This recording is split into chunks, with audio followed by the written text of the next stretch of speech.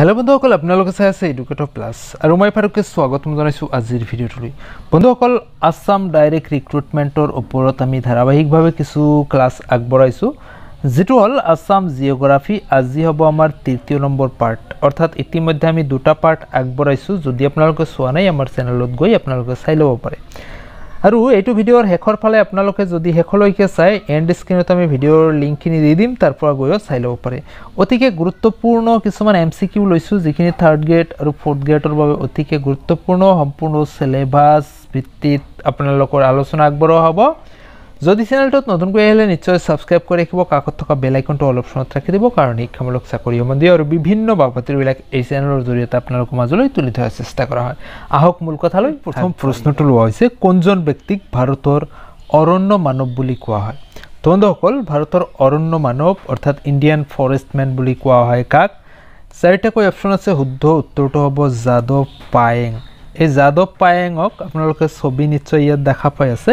তেখেতক কোৱা হয় অৰণ্য মানৱ অৰ্থাৎ ভাৰতবৰ্ষৰ অৰণ্য মানৱ বুলি কোৱা হয়। তেখেত এজন মাজুলীৰ বাসিন্দা মাজুলীৰ বাসিন্দা। আৰু তেখেতে যি বনানীখন বনাইছিলে বা যি বনখন বনাইছিলে সেই বনখনৰ নাম হ'ল মোলাই ফৰেষ্ট। মোলাই ফৰেষ্ট মনত ৰাখিব মোলাই ফৰেষ্ট নামৰ বননিখন এই অৰণ্য মানৱ যাদৱ পায়েঙে তেখেতে প্ৰতিষ্ঠা কৰিছিলে। এইবাৰৰ প্ৰশ্ন অসমৰ কোনখন সংৰক্ষিত অঞ্চল সোণালী বান্দৰৰ বাবে বিখ্যাত? সোণালী বান্দৰ আপোনালোকে ইয়াতে ইমেজটো দেখা পাই আছে। সোণালী বান্দৰ কোনখন অঞ্চলৰ সংৰক্ষিত এক প্ৰাণী? যিটো হ'ল আমি চাৰিটা অপশ্যনৰ মাজত চক্ৰশিলা চক্ৰশিলাটো আচলতে অভয়াৰণ্য মানে ৱাইল্ড লাইফ চেংচুৱাৰী হয়। ৱাইল্ড লাইফ চেংচুৱাৰী হয় যিটো কোকৰাঝাৰ আৰু ধুবুৰী। ধুবুৰী। এই দুখন জিলাক সাঙুৰি আছে এই চক্ৰশিলা ৱাইল্ড লাইফ চেংচুৱাৰী য'ত সোণালী বান্দৰৰ বাবে বিখ্যাত বা সংৰক্ষিত এখন অঞ্চল বুলি কোৱা হয়। কেতিয়া B D B T A D গঠন কৰা হয়? চাৰিটা অপশ্যনৰ মাজত শুদ্ধ উত্তৰটো হ'ব। অপশ্যন নম্বৰ খ দহ ফেব্ৰুৱাৰী দুহেজাৰ তিনি। এই দহ ফেব্ৰুৱাৰী দুহেজাৰ তিনিত বি টি এ ডি প্ৰতিষ্ঠা কৰা হয়। আৰু এই বি টি এ ডি দহ ফেব্ৰুৱাৰী অৰ্থাৎ tenth February two zero' zero' three এই তাৰিখটোত বা এই তাৰিখত বি টি চি চুক্তি কৰা হয়। বি টি চি চুক্তি স্বাক্ষৰিত হয়। আৰু বি টি চি চুক্তি স্বাক্ষৰিত হোৱাৰ পিছতেই চাৰিখন জিলা আপোনালোকে মনত ৰাখিব, কোকৰাঝাৰ, ওদালগুৰি বাক্সা আৰু চিৰাং। এই চাৰিখন জিলা একেলগে একত্ৰিত হৈ এই বি টি এ ডি মানে যিটো অঞ্চল বা সাহিত্যশাসিত অঞ্চল এইটো প্ৰতিষ্ঠা কৰা হৈছে। অসমৰ মুঠ বিধানসভা আসনৰ সংখ্যা এইটো আপোনালোক সকলোৱে জানে ওৱান টুৱেণ্টি ছিক্স। এশ ছাব্বিছখন অসমত বিধানসভাৰ যি আসন আছে সেই আসন আছে।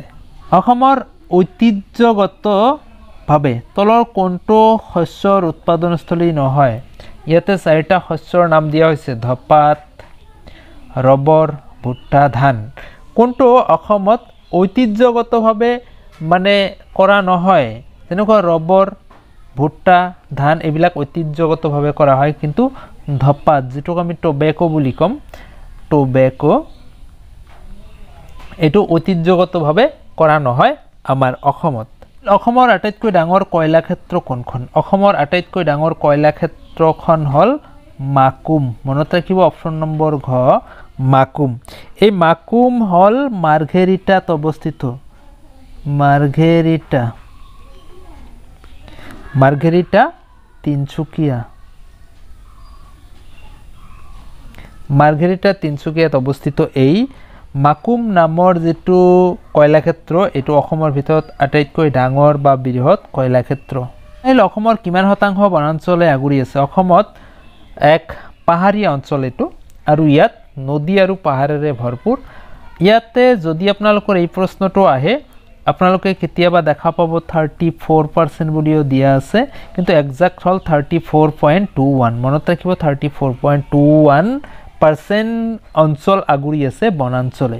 অসমৰ আটাইতকৈ বৃহৎ জলাভূমি ৱেটলেণ্ড বুলি কোৱা হয় যাক। ৱেটলেণ্ড বুলি কোৱা হয় যিটো হ'ল সোণবিল আটাইতকৈ বৃহত্তম।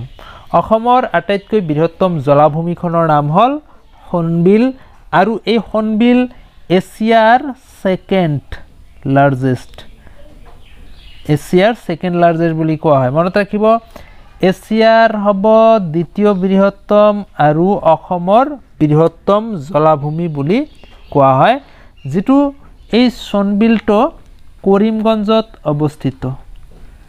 কৰিমগঞ্জ। কৰিমগঞ্জত অৱস্থিত এই সোণবিল যিটো জলাভূমি বা ৱেটলেণ্ড বুলি কোৱা হয়। কাজিৰঙা ৰাষ্ট্ৰীয় উদ্যান কেতিয়া ব্যাঘ্ৰ প্ৰকল্প লোৱা হৈছে? এই কাজিৰঙা ৰাষ্ট্ৰীয় উদ্যানখনত ব্যাঘ্ৰ প্ৰকল্প কোনটো চনত লোৱা হয়? অৰ্থাৎ ব্যাঘ্ৰ প্ৰকল্প মানে হ'ল টাইগাৰ ৰিজাৰ্ভ যিটো বাঘৰ সংৰক্ষণস্থলী যিটো লোৱা হৈছে দুই হাজাৰ ছয় চনত। শুদ্ধ উত্তৰটো হ'ব অপশ্যন নম্বৰ ক টু জিৰ' জিৰ' ছিক্স। দুই হাজাৰ ছয় চনত ব্যাঘ্ৰ প্ৰকল্প লোৱা হৈছে। এইটো অৱস্থিত আছে আপোনালোকে নিশ্চয় জানে গোলাঘাট আৰু নগাঁও।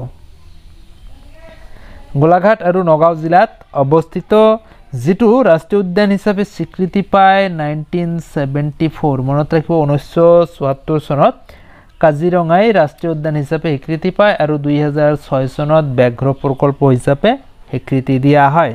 এইবাৰ প্ৰশ্ন অসমত কেতিয়া কয়লা আৱিষ্কাৰ কৰা হয়?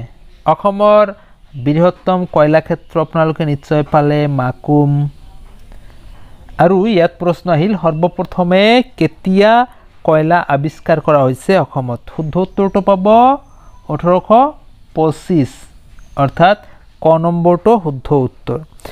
ইয়াতে মন কৰিবলগীয়া কথা হ'ল ব্ৰিটিছ ছাৰ্ভেয়াৰ মানে ব্ৰিটিছসকলে ছাৰ্ভে কৰিছিলে আৰু লেফটেনেণ্ট উইলকক্স মনত ৰাখিব লেফটেনেণ্ট উইলকক্স নামৰ যিজন ব্যক্তি আছিল তেখেতে সৰ্বপ্ৰথমে এই কয়লাৰ আৱিষ্কাৰ কৰিছিলে অসমত। মনত ৰাখিব উইলকক্স। উইলকক্স নামৰ ব্যক্তিজনে কয়লাৰ আৱিষ্কাৰ কৰিছিলে আৰু প্ৰথমখন খনন কাৰ্য আৰম্ভ কৰা হয় ওঠৰশ আঠাইছ চনত। মানে ওঠৰশ পঁচিছ চনত আৱিষ্কাৰ হয়। তাৰ তিনি বছৰ পিছত ওঠৰশ আঠাইছ চনত এই কয়লাৰ খনন কাৰ্য আৰম্ভ কৰা হয় আৰু এই খনন কাৰ্যটো ব্ৰিটিছ চৰকাৰে আৰম্ভ কৰে আৰু যিজন ব্যক্তি আছিল তেখেতৰ নাম মনত ৰাখিব C A Bruce. C A Bruce. এই চি এ ব্ৰুচ নামৰ ব্যক্তিজনে ওঠৰশ আঠাইছ চনত সৰ্বপ্ৰথমবাৰৰ বাবে অসমত কয়লাৰ খনন কাৰ্য আৰম্ভ কৰিছিলে। তো বন্ধুসকল আজিৰ ভিডিঅ'টোত আমি এইকেইটা প্ৰশ্নই আলোচনা কৰিলোঁ ভাল পালে নিশ্চয় এটি লাইক কৰিব যিমান পাৰে বন্ধু বান্ধৱীসকলৰ লগত শ্বেয়াৰ কৰিব আপোনাৰ মতামতটো কমেণ্ট ছেকশ্যনত কমেণ্ট কৰি জনাবলৈ নাপাহৰিব। শেষত সুস্থ থাকক সবল থাকক সদায় এডুকেশ্যন প্লাছৰ লগত জড়িত হৈ থাকক। ধন্যবাদ জয় হিন্দ।